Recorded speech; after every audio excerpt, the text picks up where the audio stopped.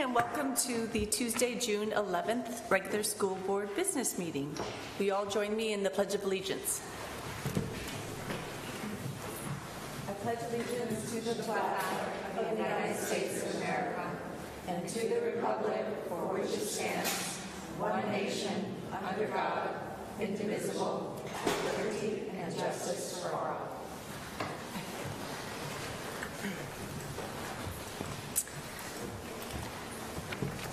Begin. Are there any adjustments to the agenda?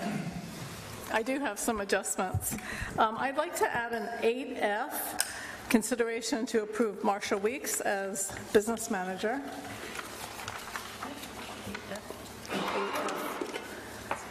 Kind of in the end. Okay.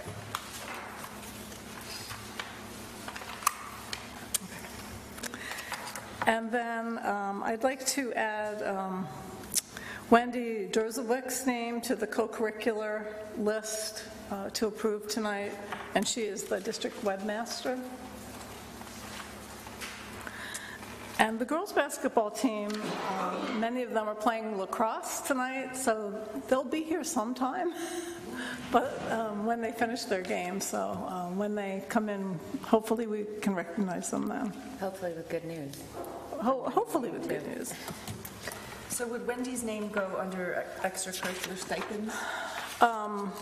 Yes, uh, right above the, it could go right above the kindergarten team leader on that list.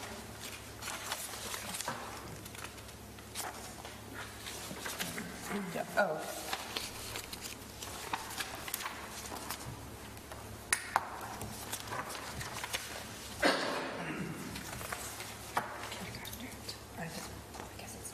Okay.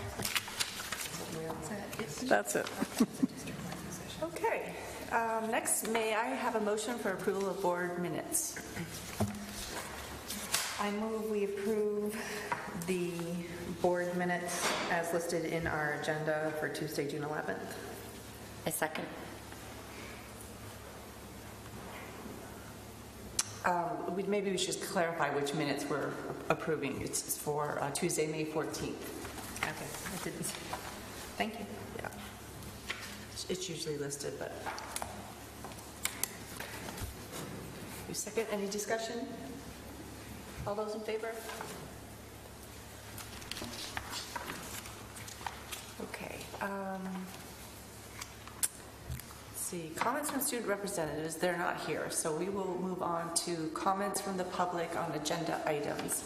Um, we, I know that we don't have this on the agenda, I don't believe, um, but we- Ann Carney is um, here to um, make some... describe what I'm going to do. That would be, that would be very helpful. Thank you for welcoming me tonight.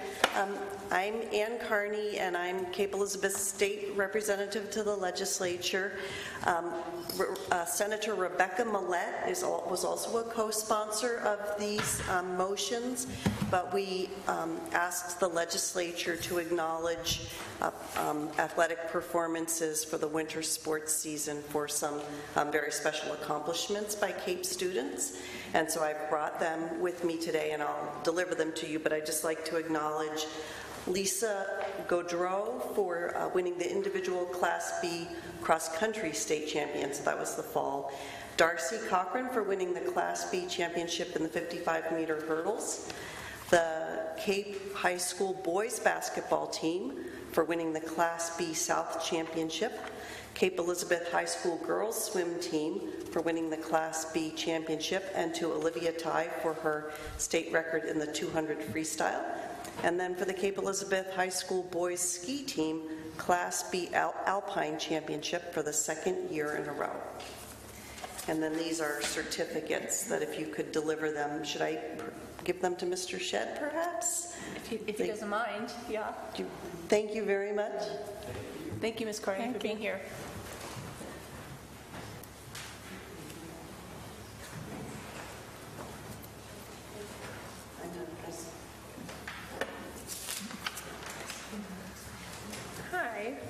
Um, so my name is Aela Mansmann. This is not on the agenda, but we have uh, we have something that we'd like to bring to all of your attention. Is that is now the time to do that? How do we handle when things are not on the agenda? Well, Are they under citizens' comments still? Uh, We're under, Yeah, citizen comment. yeah, for items on the agenda. Oh, for items on the agenda. There was no section on your agenda for items, for public comments on items that weren't on the agenda, No. Right. so we didn't really know. You have to make a request to get on the agenda. N- Normally, we would, if it's not on the agenda, you would make a special request in advance, but given it's the last meeting of the, of the school year, go ahead. Perfect, thank you so much. Um, So we are current and recently graduated students from Cape Elizabeth High School. We're here tonight to bring up an issue of sexual assault in our school district.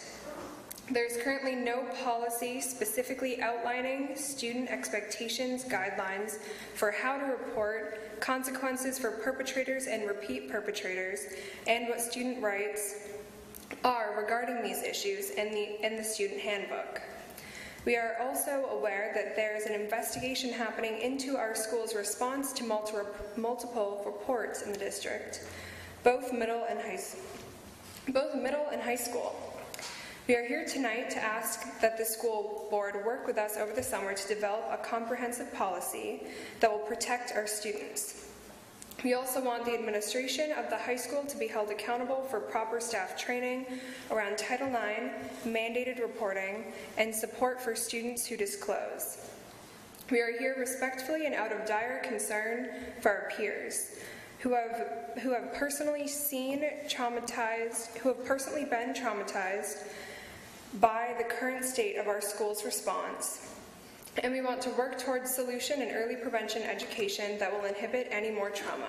Thank you. Hi, my name is Lily Frame. I live at 4 Dermot Drive. The story I'm about to tell is not my own, but a survivor's who is unable to be here tonight. She wants you to hear her story. While I cannot speak to her experience, I can speak to my own in my four years at CEHS, so I'd be happy to answer any questions. Here is her story.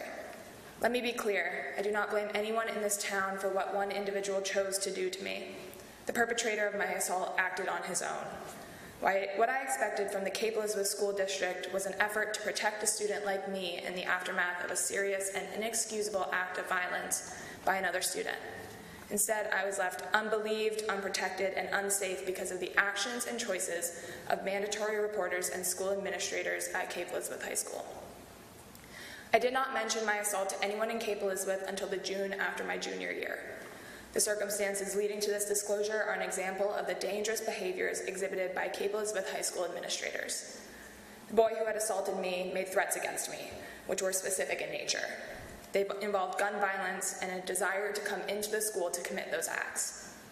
Despite the fact that my name was the one mentioned as the first person who would be shot, no one working for the Cape Elizabeth School District ever informed me that I was potentially in danger. I was never contacted, though other students who had allegedly heard the threat were brought in for questioning. When one of these students told me about what was going on, my parents demanded I be given the opportunity to speak with the head of the school's internal investigation into the incident. I knew I needed to disclose my assault in order to stress that this was a student with violent tendencies. I told that this student had been violent with me in the past and had proceeded to harass me after our relationship had ended. He dismissed this statement entirely, replying with a dismissive wave of his hand that he doesn't know anything about what happened between the perpetrator and myself. I pressed further, but it became clear that my concerns were of no importance. I was told that I had nothing to worry about. Because these threats were only brought to light after the school had ended for the summer, there was no punishment at the time for the individual who made the threats. It's important that I note I also made aware of both the assault and the threats. She too told me those two things had nothing to do with each other. In the February of my senior year, an entire calendar year and two months after the initial assault, it was brought to light that the threats had not stopped last June. I learned only from other students that the perpetrator of my assault had been suspended a single day for continuing threats of gun violence. Again, Cape Elizabeth High School administrators failed to inform me that the same individual who had assaulted, harassed, and threatened me before was making even more serious threats. Now, the perpetrator was given a day long suspension. To convey the seriousness of these threats, Cape Elizabeth police decided to take all guns from the res- residence of the perpetrator in February after the second round of threats came to light.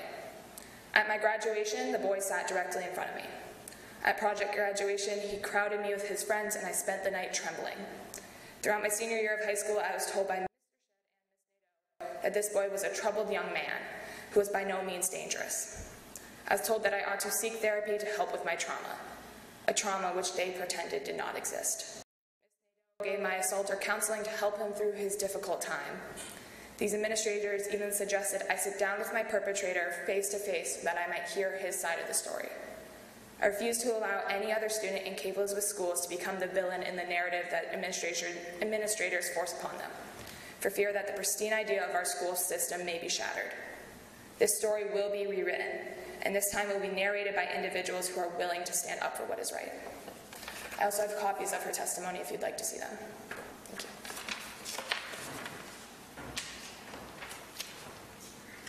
Hi, my name is Christina Enriquez, and I'm a junior. Um, I reported my assault twice, and this was back almost a year ago. This was in October 2018. And nothing was left uh, beyond that room. Nothing was reported, even though under Title IX mandated reporting. Um, I'm currently in an investigation with the school right now. But um, so my concern is about staff not knowing too much about mandated reporting and how big of an issue that is. And my parents were very concerned when they were not informed about what happened. Um, I was also brushed off. I was told not to put my mental energy into my assault. I was told he may have thought it was a romantic way to wake me up. This happened while I was asleep, the assault. And when I tried to bring to light what had happened to me and tried to explain, I kept getting brushed off and the topics kept getting changed. So I just wanted to inform you guys and just say that I think there needs to be more done about um, mandated reporting in the school and how important it is. Thanks. Thank you.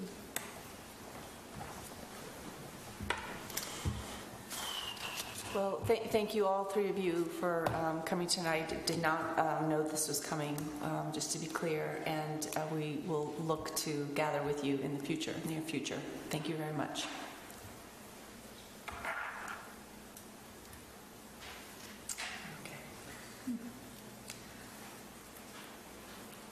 Okay, so we're going to move on now to um, presentations. Um, The girls' basketball team, I think we're going to wait until after the lacrosse game. Um, And then next, I think, Jeff, we're going to um, present the Presidential Scholar Award or nomination.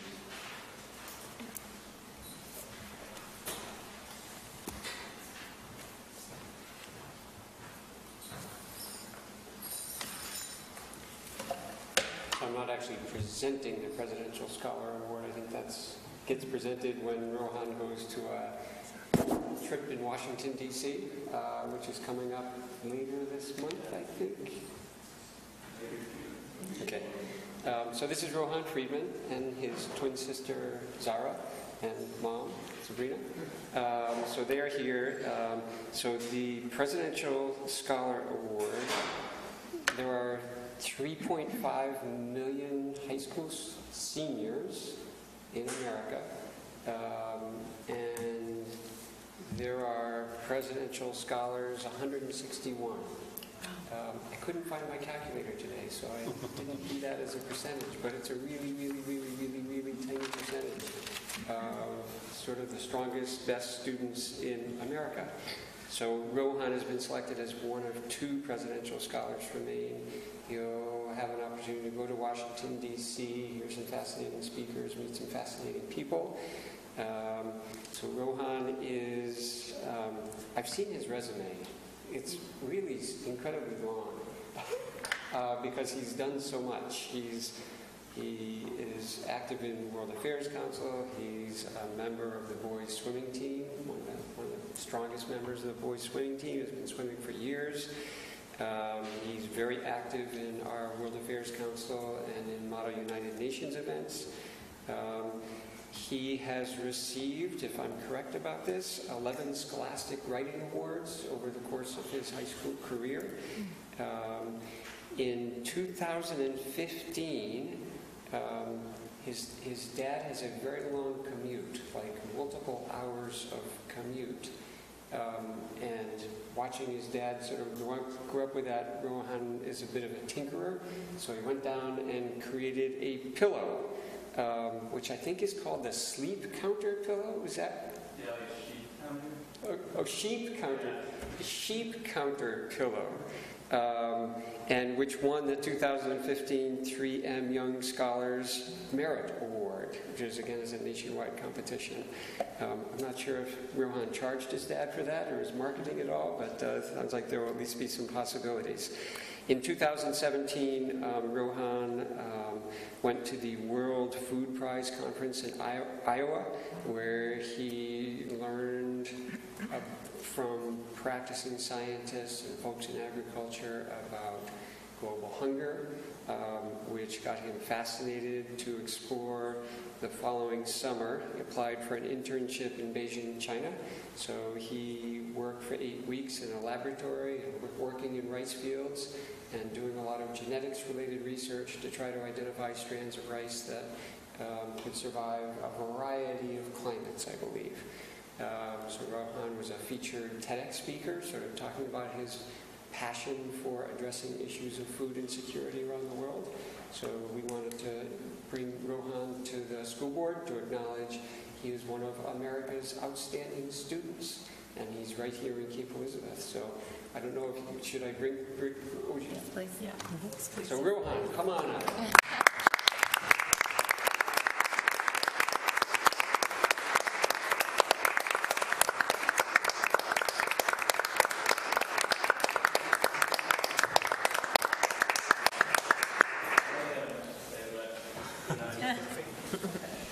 Um, it's, it was pretty unbelievable. I wasn't really expecting. Um, it's like a kind of a long process to apply and lots of steps, and I didn't even think I'd make it past like the first step. Um, so I'm, I was pretty much in shock and still pretty unbelievable just thinking about it. Um, but I just like to thank like all my teachers throughout the years for everything. Um, so yeah, thank you so much. So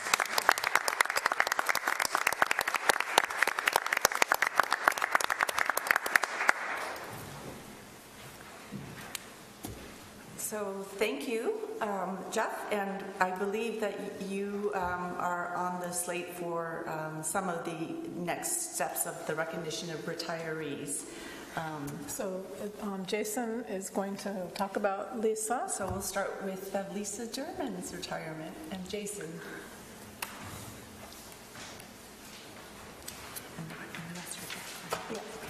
Good evening. Thank you for coming, Lisa, tonight, too. Lisa does not like attention drawn to her, so I'm going to tr- kind of take it easy. Um, so, thank you for letting me speak tonight about Lisa Derman. Um, these, at this time of year when um, some of our folks are retiring, although I'm many years away from that, it, I'm very just passionate and excited for these teachers. I see how hard that they work, and Lisa is certainly no exception in the energy that she has brought um, to Pond Cove and the students right up until the last few days of school is just amazing. So I just have a few words to say. Uh, so Lisa's journey at Pond Cove began long before she became a teacher. She actually started as a parent volunteer in 1995, and that was when her oldest daughter uh, was enrolled in kindergarten at Pond Cove. And during that time, she was active in the PCPA, and um, and she initiated the teacher mini grant that, um, and I believe it's the same structure that teachers enjoy today, right?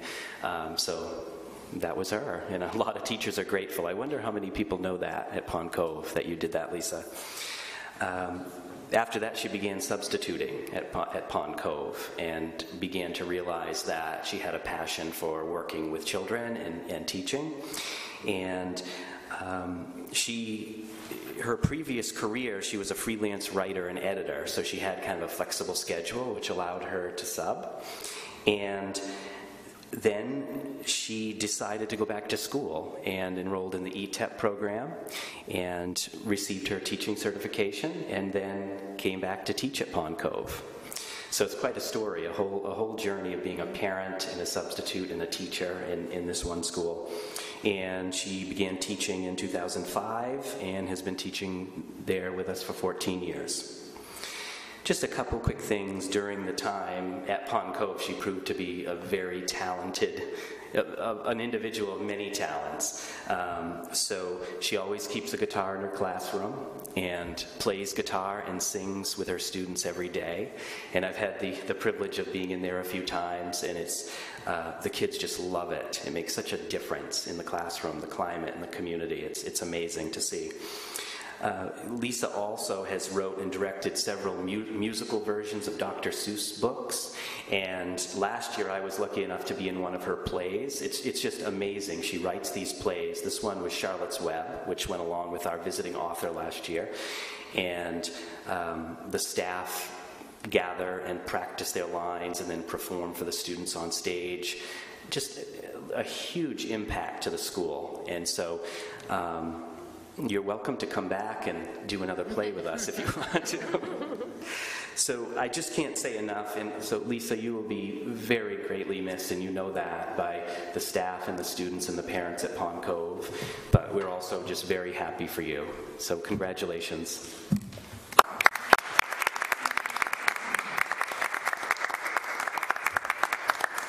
Lisa, on behalf of the school board and the school district, we have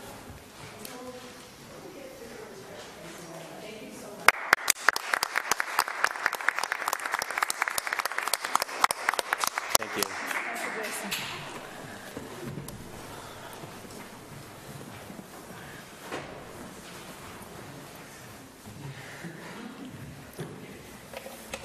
So um, Tom Lazat could not be, I don't think he's here. He could not be here tonight, but I, um, the superintendent suggested I, it would still be acceptable to say a few words about Tom. So Tom is leaving Cape Elizabeth High School after 17 years um, as our instrumental music teacher, um, our jazz program teacher, um, and he is an outstanding human being and an outstanding teacher who's affected a lot of students' lives. Um, I was saddened, happy for him, but saddened when he came to tell me that he was going to be leaving. Um, Tom started off as a journalist, not as a music educator, and worked in journalism after getting a first bachelor's degree in journalism. Explored that career for several years, and then decided he wanted to go back to school um, to pursue the possibility of teaching music. Um, so he, he told me a story mo that I, some of which I didn't know um, recently, and he had to work really, really, really, really hard um, in order to be at the level of some of the students in the program that he was in. And anybody who knows Tom knows that hard work is is something that he does each and every day. So he he emerged at the top of his program by the end of his program, and then he started a long career as a music educator in Massachusetts, in Florida, um, in Biddeford, Maine, and then here in Cape Elizabeth, Maine, um, where he has finished his career. Um, he is recognized by his colleagues uh, around the state and is well known in New England as one of the, one of the best music teachers in New England, really. Um, he was the recipient this year of a national award called the John Laporta Jazz, on, Jazz Educator of the Year, um, which is a huge honor for him and a wonderful way for him to sort of cap his career. Um, he is leaving um, a little earlier than he expected. Um, he has an incredible relationship with his mom, and and he wants to be able to travel with her, which has been a lifelong dream for both of them.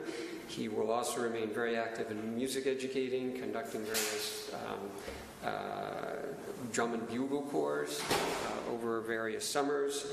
Um, he is always experimenting through the end of his career, always learning about new things, always excited to read about how the brain works and how you touch kids, um, and always experimenting with innovative ways to, to work, all centered ultimately, though, on how do I help kids become better young people, better people? Um, music was really the way he, he worked with kids, um, he, but he would have been a great teacher no matter what he taught. Um, he was really totally concerned about the whole child, and Cape Elizabeth um, schools will be will miss him greatly. Um, it is one of the measures, though, of how well regarded Tom is leaving the music program that we had some wonderful, wonderful, wonderful candidates, and that's because people regard this program as one of the best in a, very large area. So we're very fortunate and wish Tom the absolute best because he has had a marvelous career. Um,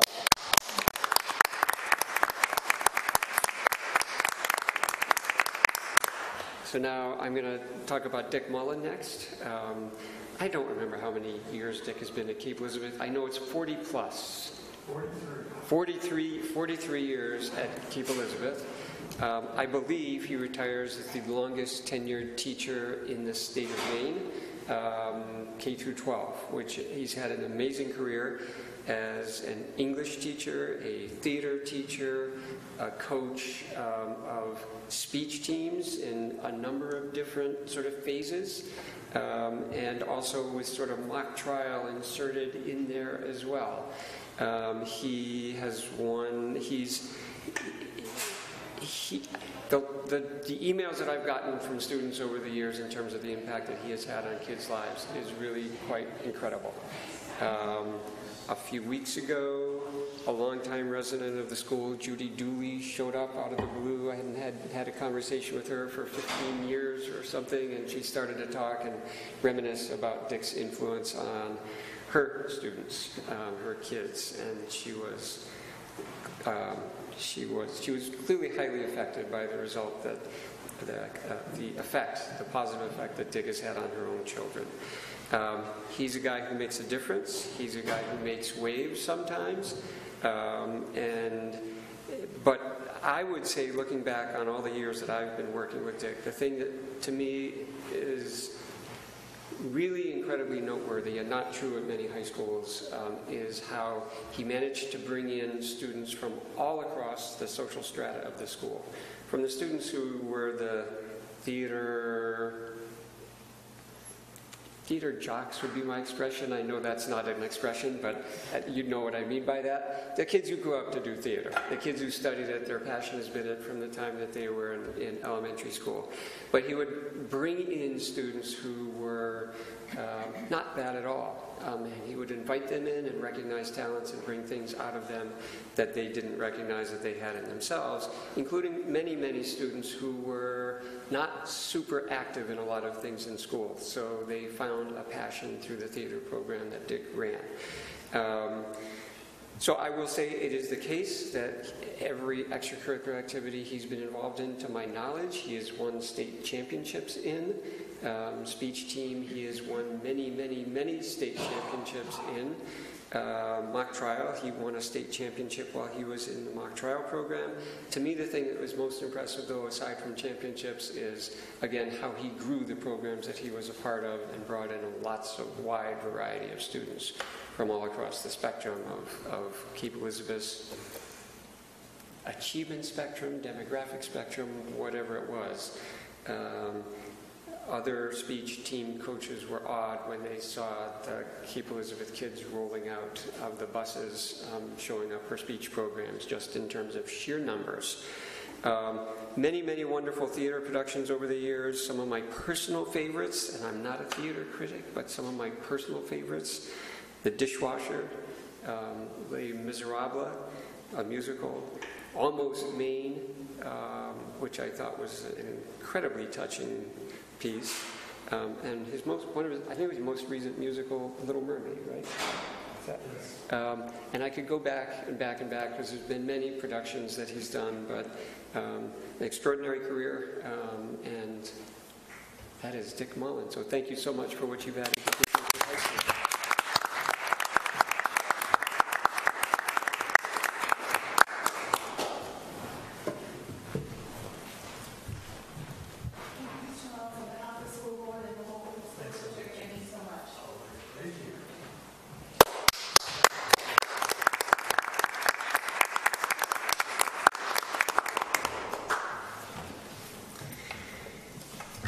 so next to Dick is Mark Pendarvis, um, who's uh, uh, finishing off a 20-year career at Cape Elizabeth High School. You started the year before I did, I think. Um, so 20 years at Cape Elizabeth High School teaching Spanish. Um, it- Mark is another one who's had a fascinating career before going into education. He is, I'm not sure if you're actively an ordained pastor. Um, don't know how that keeps up or whatever, but, but Mark, Mark is, is, a, is a pastor. Um, he has been involved in that aspect of life. He has been involved as an educator, and he is involved as a world traveler. And really, I think the gift that Mark brings every day to his kids in classes is bringing the world to Cape Elizabeth, to his classroom. Um, he ha- has, been, has grew up for a significant amount of time in the Philippines, which I probably think probably has something to do with his mastery of Spanish. Um, he has lived in Scandinavia, visited Scandinavia, visited places in Europe, and I think not sure about this because I should have meant to talk to you earlier today, but I think I think there, I know that there are other continents as well that he has visited and brought in to his classrooms aspects of all of those things. Um, he is, for a guy who's been teaching for a long, long, long, long time, he is also one of Cape Elizabeth's um, technology pioneers. Um, whenever I go into any of our world language classrooms, there is always a portion of the class where the kids are talking in groups and listening in groups and that sort of thing. And very frequently they are recording, they, they practice after a period of time and then they record their conversations. That is the, that is the influence of Mark Pendarvis in sort of experimenting with new apps that he's learned about and things like that, and then introducing them to his colleagues and introducing them to classes. So one of the things that is true in world language classes, it is not sit and sit and listen. It is students are very actively involved, and technology is one of those aspects that Mark has brought. Um, I will say that one of the things that Mark also brings is every time I have a conversation with him, he knows his kids, not just how they do academically in Spanish, but he knows his kids. He oftentimes knows the families of the kids. He oftentimes knows their parents and their aunts and their uncles and their grandparents um, because he just loves to talk to people, including loves to talk to kids. So it is all about um, the whole child, getting to know the whole child, valuing and respecting the whole child. And those teachers are incredibly valuable, invaluable, and hard to lose. Um, Mark is Mark and I may be having some coffee down in the Lower Mills area a little bit in, in south of Boston because my in-laws live just in Dorchester and just next to near Milton where Mark is moving to take care of his, his in-laws. So I'm hoping that we get together and have a cup of coffee because he's a wonderful guy to have a conversation with. Um, so thank you, Mark, for all the years of service to Cape Elizabeth High School and.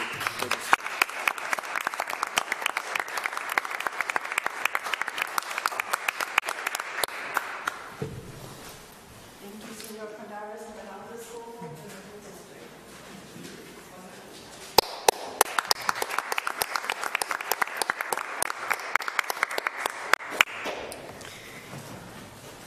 So sitting on Mark's left is Mort Soul. and uh, Mort, how long have you how long have you been teaching, Mort? Total. 50. 50 years. Yes. So the, so so I'm getting ready for my next 50 years. So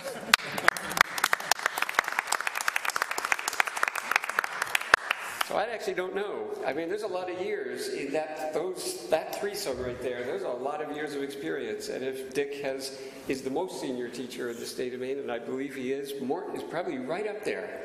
Um, and maybe number two, or maybe I'm wrong, and maybe there's I'm starting a competition between them um, now to see who's really been the longest longest serving. But Mort has been with us for 17 years. Um, and he is original Latin teacher um, in Cape Elizabeth. And the thing that is fascinating about Mort is he, he, he brings an incredible passion about his subject to every single day, every single class. Um, he loves bringing in history. It's not just about learning Latin, it's about learning about the history and learning about the cultural context and learning about all those things. It's learning about a lot of stories that Mort brings to every single class um, about the Red Sox, about Bowdoin, about uh, who knows, um, all sorts of things. And the fascinating thing to me, and I think one of the most commendable things, is there has been a real shift over the 17 years that Mort, Mort has been at CEHS in the, the, the sort of the demographic and achievement level of the students that he served. Um, when Latin was first introduced, it seemed to attract students who wanted to take Latin as a second language and who among, among Cape Elizabeth's high achieve, highest achievers and just had a natural gift for it. Um, and that has changed, so Mort is now serving a much more diverse clientele and doing it equally well. Um, the quality of the program that Mort delivers is evidenced by how well his kids do in the National Latin exam every single year. Um, and and I will say that Mort is, anybody who knows him knows that he is one of the great characters in the high school.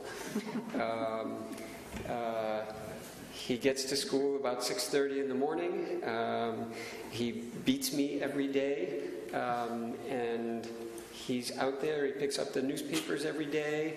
And then he starts curling the picnic tables as for as part of his exercise regimen.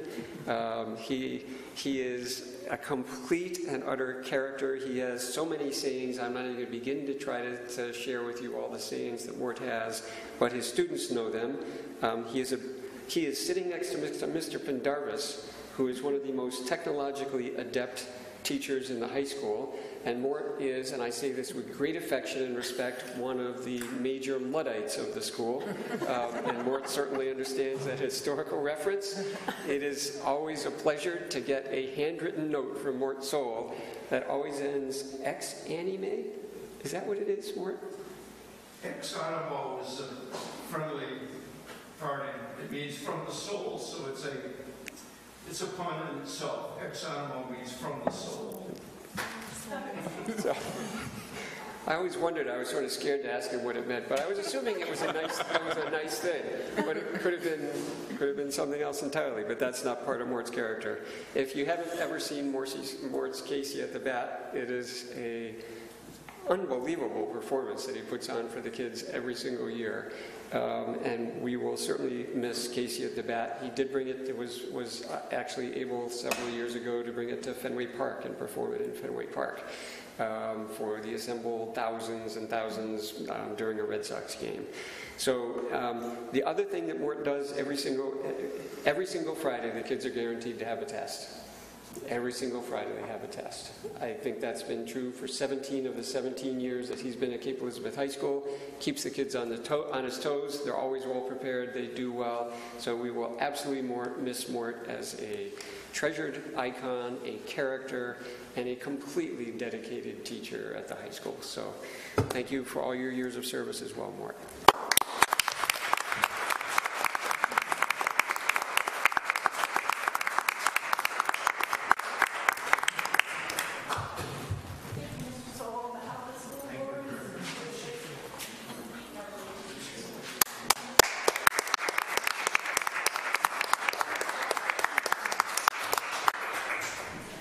So before we uh, take a, a brief break to re- celebrate the retirees, since we have a full house of basketball players here who are waiting patiently, we thought we would do that before the break, and then we can all celebrate together. Is Chris here, Castro?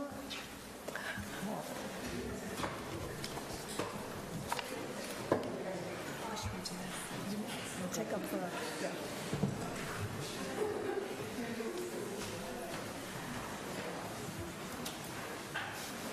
You guys can come over.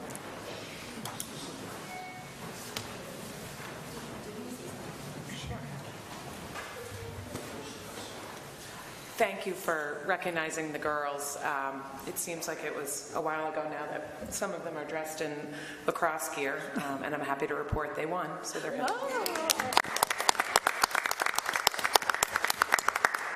but the sportsmanship was uh, a great honor for them. We had a great year, but at the end of the day, even though the record doesn't always reflect um, how good, maybe, it certainly doesn't reflect how good um, they are as people and how hard they work and how much they dedicate themselves. So to win the sportsmanship award and to hear other coaches um, tell me game after game how they admire how hard the girls play, how they play it the right way, um, and how they support one another um, really means a lot. And the kids don't usually hear that. Um, I hear it, and I try to let them know, but I think validation came through being voted by the other teams in the league um, as sportsmanship um, recipients. So they play the game the right way, they win with humility, they lose with grace, and they treat each other like family. They're a great group of girls.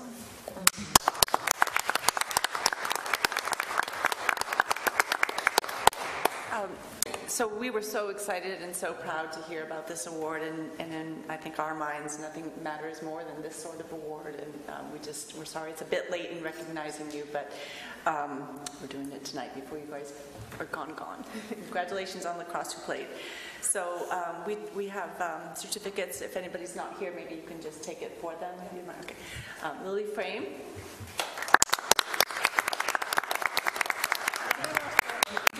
Lily, if the school board wants to. You have to do this. Congratulations. Emily Supple. Okay. Emily Goulding.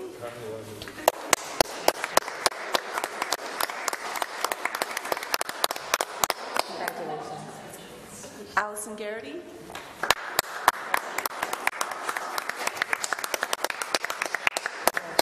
Addie Whalen.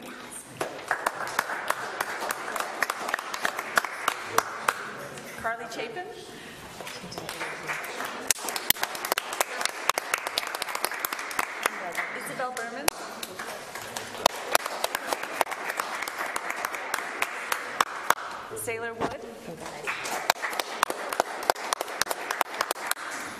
Jessica Robichaud. Kaylee Manning.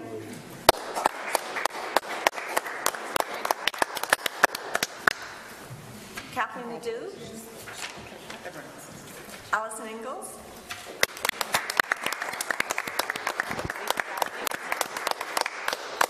Brookie Harvey. Congratulations, Brookie.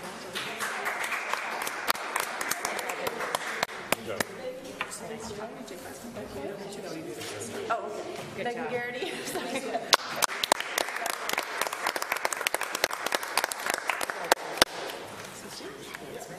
Thank you, Chris. Thank you.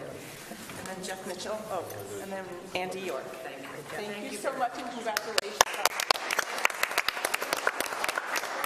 Feel free to stay for the retirement celebration. We'll take a 15-minute break. Thank you.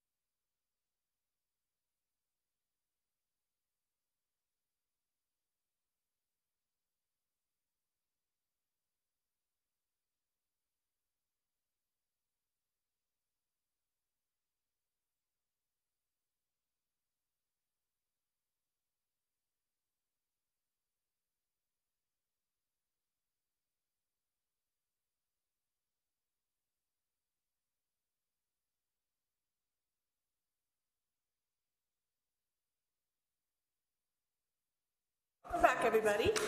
Um, We're picking up after our retiree reception. And next on the agenda are reports from the administrators. First, the principals, whoever wants to go first. Jason does. Hello again. So uh, keep it brief tonight. Um, uh, At Pond Cove, I mean, of course, it's very, very busy, end of the year, lots of stuff going on. We've finished up our end of the year academic assessments, but um, teaching and learning definitely continues. We have a, a lot of fun things planned, field days and um, fourth grade celebration and field trips, but we really understand the um, benefits of maintaining a routine for our young learners and the value of the time that we have left to teach them um, the last few days of school. So we're maintaining routine, routines, but also um, having a lot of fun and celebrating too. Um, so, and I think the big deal for us is that many of our fourth graders appear ready to be fifth graders. So um, I think they're ready to go and um, hang out with Troy for four years. So, um, so they're excited about the fourth grade up to fifth grade step up day, which will be um, on June 13th, Thursday in the afternoon, and then the fourth grade celebration, which is a, a is is amazing. Really, our parent organization and some key parents put that on for us. Um, and it's it's just a great time, a great um, time to acknowledge all their work and, and the fact that they're moving on up. So um, we're looking forward to that. And I just particularly this year want to thank um, the middle school staff, middle, middle school administration, Troy and Kyle, and guidance department and the teachers for working really closely with us this year on the transition plan.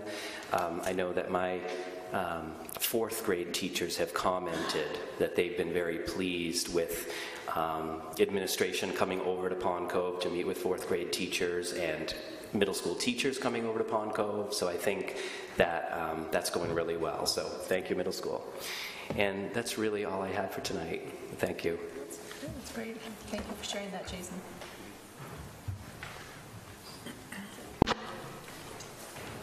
Nothing prepared, so I'm going to make it up.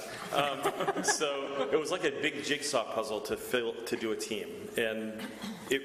Last year I kind of just watched it happen, and this year I got a little more involved, and Kyle's been involved. But to see the amount of time it takes for the fourth grade teachers to try to thoughtfully place kids and design all these teams um, is, is really quite a process. And um, so I appreciate that, but it's like having a huge jigsaw puzzle in front of you and, and just working at it. So but I definitely believe that the power is in, you know, what is that? An ounce of prevention is worth a pound of cure, is that saying? So, um, you know, getting that ready, to, doing a good job in the beginning and front loading that really makes for a stronger year for all the kids. So that happened. We have hosted one night, we had a, a incoming fifth grade parent night which was, I think, a, a, pretty nice success. We had about 55, 60 people there and had some great questions and feedback. So we're, we're trying to kind of promote that process a little earlier in the year. I think we're going to do a similar thing for sixth grade parents in the fall. So we have a lot of that stuff is going on. Um, continuing the year, we have our eighth grade um, transition to the high school is Friday. This little, I think it's only like an hour, hour and 15 minutes or something at the high school. Um, but then, really, the biggest thing I wanted to share quickly was at our last staff meeting on Monday. It's, it take, we, we often get caught up in, in the pace of our year or our day, and we don't really reflect and celebrate very much. So we kind of highlighted some of the things. When I got hired, I asked them what they were most proud of. It was really hard to come up with that answer. and so that was kind of been a goal. Like, let's pick some things that we can really do well. So this year, some celebrations were our peer visits. It's kind of led the the local communities are all kind of envious because our teachers are out in their schools and they're wondering why are you out in our school? And so now i think it's something that we've led the way in and, and it's kind of catching. And when you hit something like that it's it's like wow that was a good risk to take and it was powerful and it's starting to pay back. Also the good work of our fifth grade team taking on the task of switching to the one to four grading scale and, and kind of just tackling that head on and and you know, I think that's a pretty big step and an accomplishment for that group of people to, to do that really kind of quickly. Um, so that's been a, been a huge success. Um, The mental health initiative was a huge success. It was a bunch. And I think until you sit down and really talk about all of those things, and, and when I was talking about it, they're all nodding, and you can start to see that pride build up a little bit. But lastly, the thing I think we forget to celebrate here, and I don't know if it's because it's an expectation or I kind of get the feeling that sometimes we're embarrassed or whatever, but we're really a high performing school. and when you compare yourself to these other places and you see um, how you're kind of scoring out, because I took all the screenshots of the report cards before they were taken down from the state site, and there's some pretty good information on there. Just so to share that with them and to stop for a minute once in a while and realize what, what we have here and the quality of kids we have and parents and community and celebrate that and then be kind of proud of that. I think sometimes we need permission to do that. So um, that's kind of how we ended our last staff meeting, and hopefully we get through the next four or five days peacefully, and all will be good. Thanks. Thanks, Joy.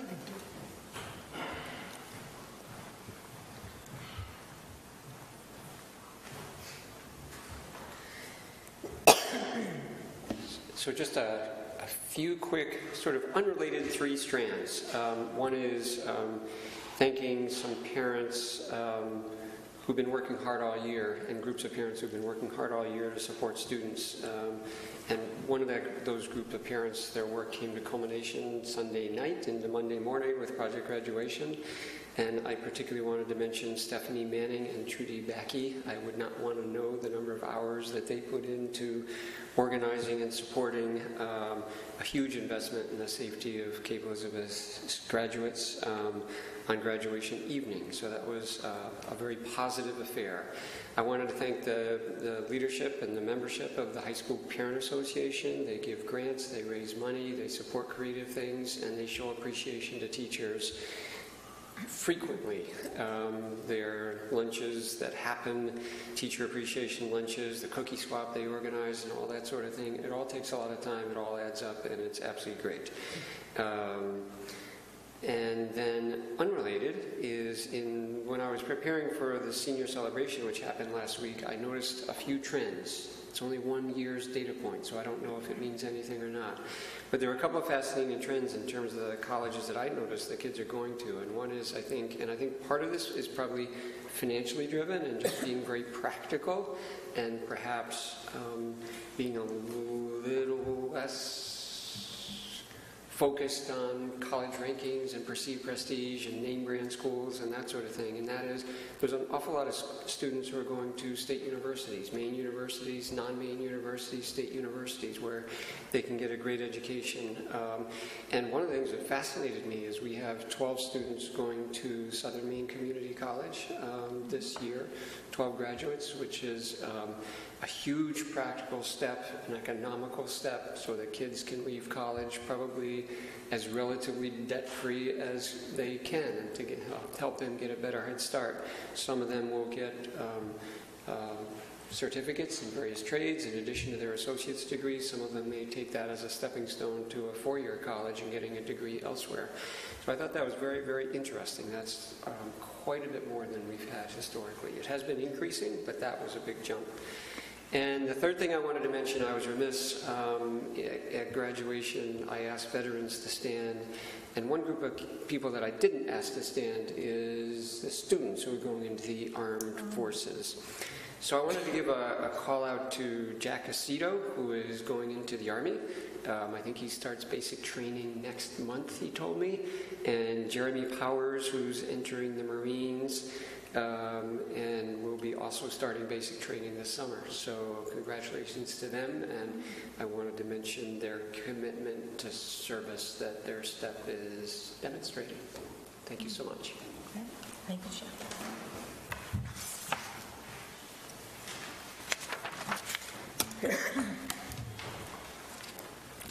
In uh, special education, I think probably the biggest news I have is that two weeks ago we did interviews for the psychology position. I think I've mentioned it a few times that we've kind of done our best to hire contracted folks all, all school year long. And that has worked out well, and I certainly appreciate that we were able to get them. But we did interviews for the permanent position, and hopefully by the end of the evening, uh, we'll have approved our number one candidate. Um, As far as things going on upstairs, we've been working fast and furious for planning for extended school year.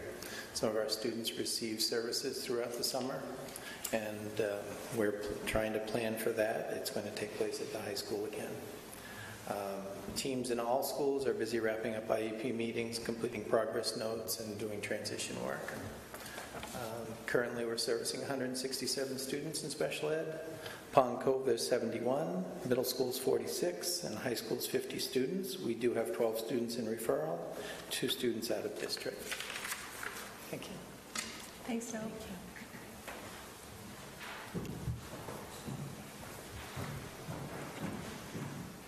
Hi, everybody. I'm going to talk about uh, gifted and talented and also professional development this evening. Um, in terms of our gifted and talented services, we recently completed the screening and identification process. We've identified five third graders, which represents 5% of the class, which is exactly where we should be. We're not permitted by the state, technically, to identify more than 3 to 5%. And we also identified two additional fifth graders. We held interviews this past Monday for a new GT teacher, and we hope to have someone hired by next week. And then in terms of professional development, um, the application deadline for summer work was last Friday. We received 50 applications. Um, These are applications from our teachers. They are collaborative um, and align, pro- collaborative projects that are aligned to uh, building and district goals. We're in the process of reviewing them, and uh, we'll let the educators know whether and at what level their project has been supported by the end of this week. So that's very exciting. Um, and then um, our Great Schools Partnership Coach, Ted Hall, is going to be completing this year's work by providing facilitator and data analysis training, training to any available teacher leaders. He's going to be working with um, the Pond Cove teacher leaders on June 20th, um, mid- middle school teacher leaders on the 25th, and high school teacher leaders on the 27th. And we are already engaged in planning for next year. Um, the Pond Cove content leaders who've been instrumental in planning professional development are, are continuing happily. Um, we have two middle school content leaders rolling off Kristen Arbor, um, who has been for two years our science content leader, and Hannah Roner, who's been the ELA content leader, and they've both done a wonderful job. And I just wanted to publicly, publicly acknowledge how much we've appreciated um, all the all the work they've put in their organizational and leadership skills. Um, and um, they, um, we are in the process of replacing them, so you'll see those names next fall. And then um, at the high school, I'm wrapping up my one-on-one conversation with staff. Um, I've met with 28 teachers so far. These are conversations that range from 30 to 45 minutes. I was just telling Mark Pendarvis that um, it's been about my, my most favorite part of the year so far. The conversations have been productive and even inspiring, and I'm really looking forward to sharing the results with them um, and, and working with them to plan next year's professional development. And that's it. Kathy, are the um, number of people who are applying for um, options or opportunities this summer, is that an average number, 50, or is that, yeah? Yeah, actually slightly more than we had last year, I think. It's interesting that you bring that up because I just found that impressive. Isn't it? I, I am so excited to hear that there are 50 teachers that, that want to work on their craft over the summer. And actually, to be clear, that's 50 applications, and each application involves at least two teachers. Oh. So we have teachers who are involved in multiple, uh, multiple projects, and it is, it's tremendous, because it's, it is the best time to get that kind of work done, so. That's really exciting. Thanks, Kathy. Thank you. So Catherine is um, out sick tonight. She's not feeling well. You do have her financials in your packet, so if you have any questions, I'm sure if you can get them to me or to her, um, we'd be happy to supply with you you with answers. So the end of the year has been very busy, um, as everybody's talked about, uh, events throughout the district, concerts, field trips, special project presentations, and many more things going on. Uh, Behind the scenes, some staff members have been bu- bu- busy preparing for the next year, plans for trainings as required by new laws in the area of mandated reporting for suspected sex- sexual abuse and suicide prevention have been taken on by our school social workers and counselors. Uh, So they're busy um, planning a beginning of the year training and also some uh, staff meeting trainings. Some staff have participated in interviews as we fill vacancies for next year. Special ed, as Del said, our staff are busy planning for the extended year program. They've had charts up all over the office with all kinds of things on them um, about the extended year program. Many staff are anticipating professional development uh, opportunities that they will attend this summer, as Kathy was talking about. Um, Maintenance and custodial staff have been planning their summer schedules in an effort to work around the many activities that are going on in our, our schools this summer, and that's quite a challenge. Um, So while, while we're busy closing out the 2018-19 school year, we're also in full swing for planning for future events for next year. So you have in your packet um, an enrollment, uh, June enrollment that shows that we are up one student from May and down 14 students from last year at this time. And um, I know probably most of you know this, but I did receive the resignation of Catherine Mesmer for our business manager. Uh, Catherine has accepted a new position near Gray. And um, in uh, your packets or um, as a separate attachment, you do have um, a a description for um, the business manager that hopefully you will approve later on in this meeting. So if you want to take a look at that. So we've been very busy finishing out this year and getting ready for next year. That's it. Okay, all right. Thank you. Okay, then we'll move on to new business. Um, Consideration to approve the following job descriptions. May I have a motion, please? I move we approve the following job descriptions: maintenance mechanic, foreman, school business manager, bookkeeper, payroll coordinator, accounts payable clerk, and receptionist. Second. Second.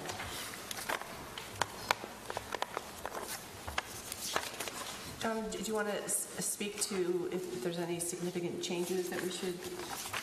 Um, So I I have met with um, Arlene Mokaport, the- our human resources person, and with um, all of the people who um, fulfill those, those positions at this point to review um, the old uh, job description that we had, just to bring, to bring it up to date.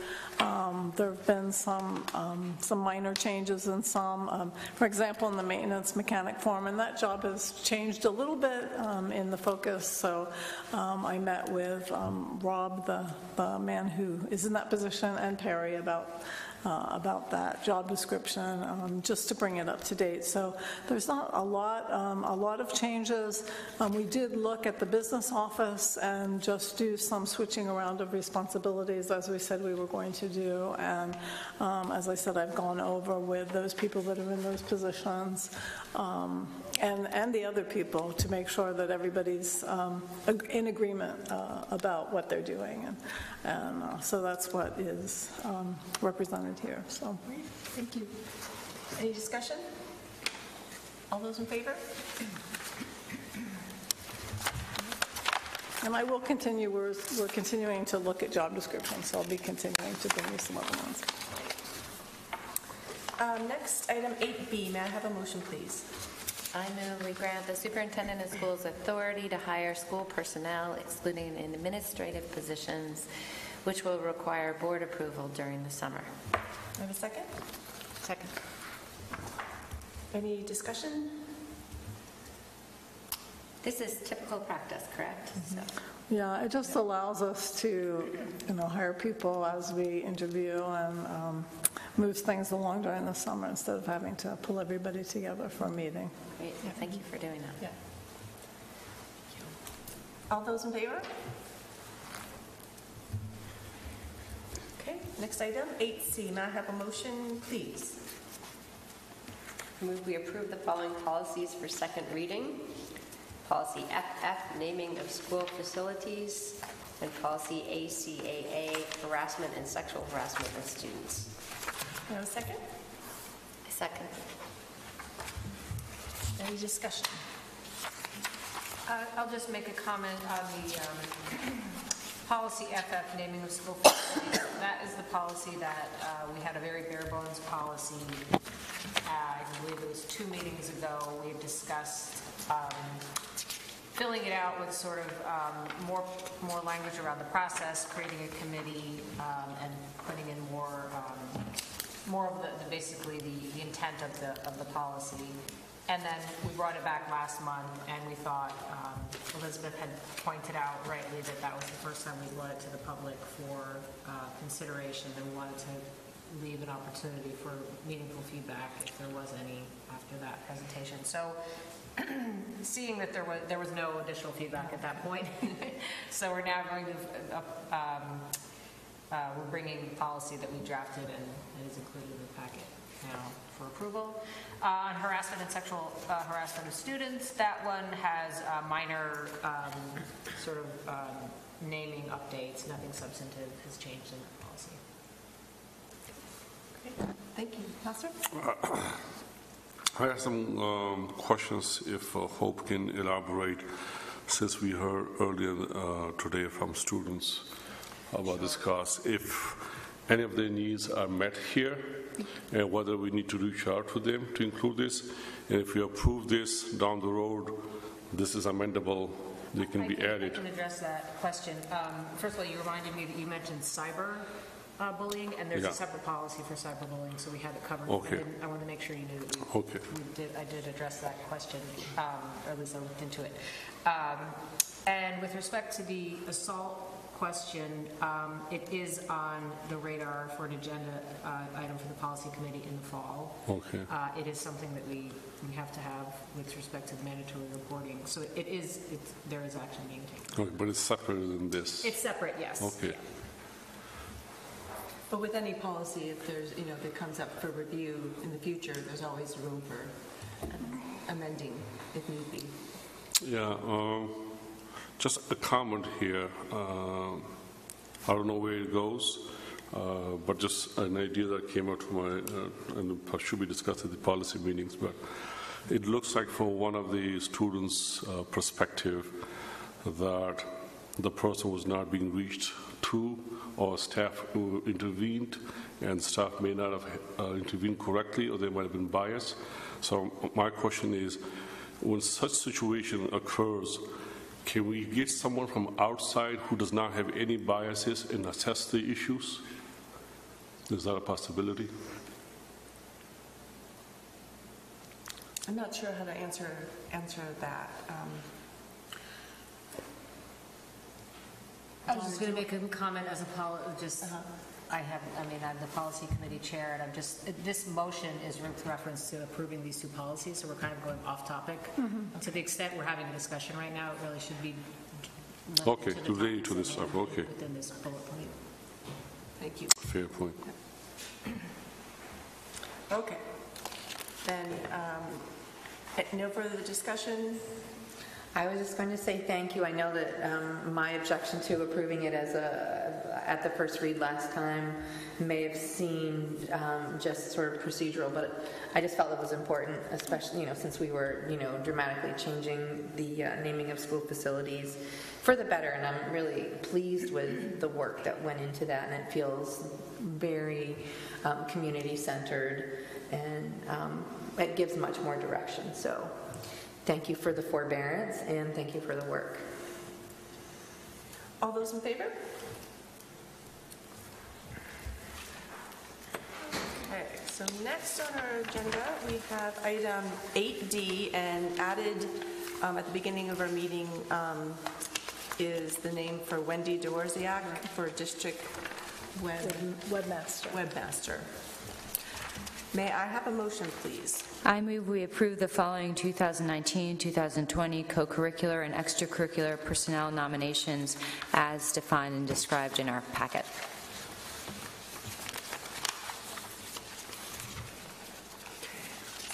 I second. Boxes long. Okay, all right. So Laura, and then Heather, you second? Um, Any discussion? I would like to thank um, administration for um, really getting ahead of these. A lot of times uh, in the past, we've seen some of these either at the end of August or the beginning of September. So I would um, like to thank administrators for bringing this to us in advance so that we can review and have these um, positions settled well in advance of the fall. And I know it's not easy, and I appreciate it very much. And thank you to everybody that is willing to put in this extra work to enrich the lives of our students. Um, I have a question. Jeff Thorak's not here, and I don't know if Jeff Shedd can help or if Donna knows the answer to this. Um, and it's just clar- clarity for myself. Football has a lot of people being stipend, and it says football assistant first stipend, football assistant second stipend, and then another person, football assistant second stipend, and then another assistant, football assistants.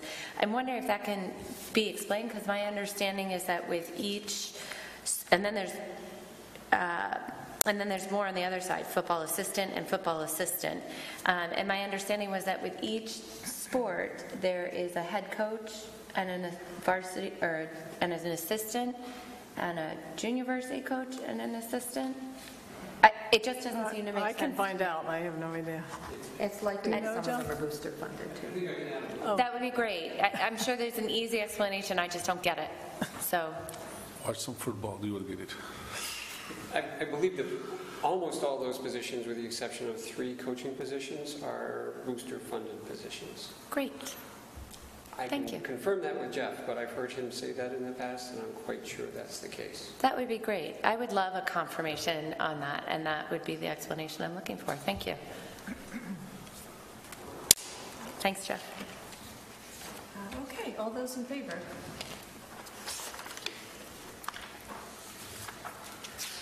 Um, Okay, so next on our agenda, we have item 8E. May I have a motion, please? I move we approve, is it Kate or Katie? Katie. Katie Holland as psychological examiner. May I have a second? I second. Any discussion? Um, So I see that, it was see. Now, the team interviewed her, and then I interviewed her via Skype. She was in Colorado. Yeah. Okay. Um, very nice young woman, very knowledgeable. Great experience. And just remind me, is this for a full-time or a part-time? Full-time. Full-time, okay. Oh, there it is, right there. Okay. All those in favor? Okay, thank you. Um, Next, we added to the agenda item 8F, um, consideration to approve a new business manager. Marcia Weeks. Marcia Weeks. May I have a motion, please? I move that we approve uh, as the business manager, um, Marcia Weeks. Second. Okay. Um, Any discussion? Marcia works in Portland right now. Um, She did extensive work in Arizona before she left to raise her family, um, working for, I believe, the, s- was it the state, The county in Arizona. And uh, very impressive with her knowledge of business administration, so. In- In schools or? Um, That was for a county, not school-related, but she's now working in the Portland schools, so. she- Okay. Thanks for the committee work on the interview. All those in favor? All right, next, we're moving on um, to committee reports.